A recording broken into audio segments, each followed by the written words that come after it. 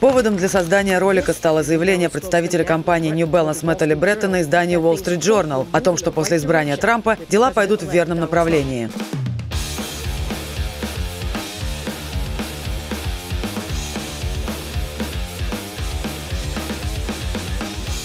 В университетах США отменяют проверочные работы, а также предлагают расстроенным победой Трампа студентам пройти терапию с помощью собак и пропустить занятия.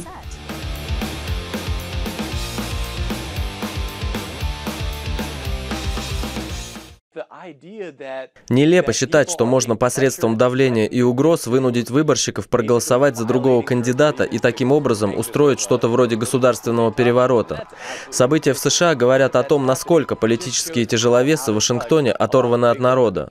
Демократы были у власти целых 8 лет и все больше отдалялись от населения. Они перестали прислушиваться к мнению других и пытались вопреки всему насаждать свою политику только потому, что во главе страны стоял демократ. Руководство Америки было поражено итогами выборов. Да, Трамп не получил большинство голосов избирателей, но он заручился поддержкой большинства выборщиков.